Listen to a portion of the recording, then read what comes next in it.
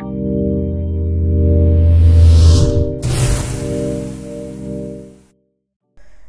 guys, how's it going? It's Aaron here from Appboy.com and today's review is on Camera Plus for the iPhone.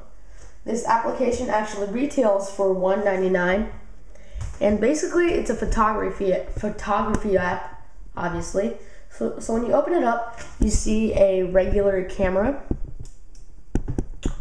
Alright, and you have one of two options or that little menu button down there. So you can choose to take a picture or you can go ahead and edit.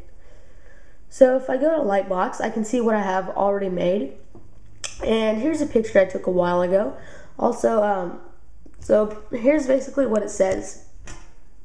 Um, you have the save all option over there. You can hit done. You can check out the photos you've taken so far. And then you've got a variety of other options down below. So let's hit let's say I want to edit this video, um, just a logo of a computer monitor I saw over at Fry's. So down below, you can choose what kind of effect you want to add to it or what you want to do to it. Um, there's several options such as scenes, crops, effects, borders. And so for you guys, for this demo, I'm just going to be using an effect. And so let's say I just want it to look and then obviously you can choose uh, three different modes of that mode. So you've got color, retro, and special. So uh, in retro, I'm going to make it look antique. And there it is. I can also crop it if I want. Freeform. So we can just drag that. Let's say I just want the little Envision logo itself and then hit done at the top.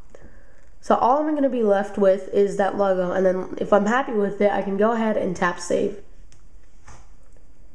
And that's how neat this application is. It allows you to easily edit your photography, um, any of your photography either transferred on or one that you've taken. And it lets you save it directly to your camera roll which is quite nice.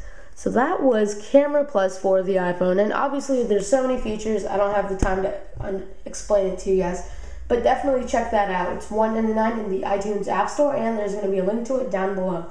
Hope you guys enjoyed, and I'll see you guys in the next one. Peace.